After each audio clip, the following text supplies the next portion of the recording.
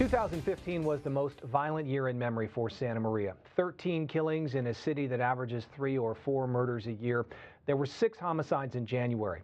In March, police arrested 17 alleged MS-13 gang members, and the murder rate has since returned to normal. As the gang suspects appear headed for the largest trial in Santa Barbara County history, I sat down with the police chief for his most extensive interview to date on how they put a stop to a crime wave like no other in Santa Maria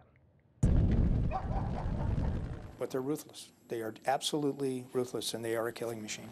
Police Chief Ralph Martin doesn't mince words when describing the MS-13 street gang. They just started their wave of terror. It's the only way you can really describe it. The, the Reds are homicides wherein we know that they were uh, was a gang involvement. This chart shows shootings and marked in red homicides over an intense one-year period. Nine of the killings attributed by police to MS-13. We saw an unprecedented amount of shootings uh, starting in June of 15 and culminating all the way up to about January, February of this year. Over a period of months, Santa Maria police conducted surveillance on multiple people they believed to be members of MS-13. 15 detectives worked full-time, intercepting phone calls and text messages and monitoring social media activity. Neighboring law enforcement, the FBI, and ATF, Santa Maria police conducted Operation Matador, in the early morning hours of March 3rd, 16 arrests were made in multiple locations over the course of three hours without incident. We know who they are. 150 officers were involved. I think it was um, an operation like no other that's really been undertaken on the Central Coast. None of the three murders in Santa Maria since Operation Matador have been connected to MS 13. I feel the Santa Maria Police Department did a great job in cleaning up the MS 13 gang violence, and I feel much safer now. While the murder rate has stabilized since Operation Matador, others still feel unsafe at times in Santa Maria. I won't go certain places at night and um, always nervous when I come out of the movies and make sure I park real close to the theater. Six suspects. Chief Martin sees Operation Matador as a turning point against crime in the city. 17 defendants with street names like Smiley, Psycho, and Bandit now face charges brought by a grand jury. Defendants appeared in court on those charging documents and their attorneys asked to continue their arraignment to December 2nd. The grand jury heard enough evidence to bring forth 10 murder charges and 14 attempted murder charges against the alleged members of MS 13. Those court documents are sealed, but I did obtain these documents from the courthouse that outline a series of targeted killings. It's our opinion that they were stalking their prey, and we were following them. This declaration, filed at a bail reduction hearing by District Attorney Joyce Dudley, describes the sophisticated techniques the suspects use to track, identify, and scout their victims.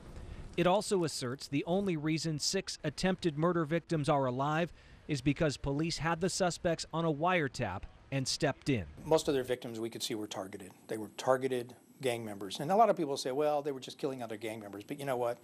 No, no, we had to intervene. The chief says some of the victims were associated with the 18th Street Gang, the sworn enemy of MS 13. Both originated in Los Angeles from Salvadorian Civil War exiles in the 1980s.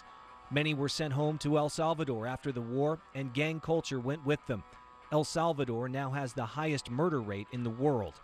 Chief Martin says MS 13 has 40,000 members and is in 40 states across the country. I'm hoping that the FBI will one day uh, kind of label them as a terrorist organization. It's Ann Bramsen's job to prosecute them in what could be the biggest trial in Santa Barbara County history. 12 plus 5, 17 defendants, 17 lawyers.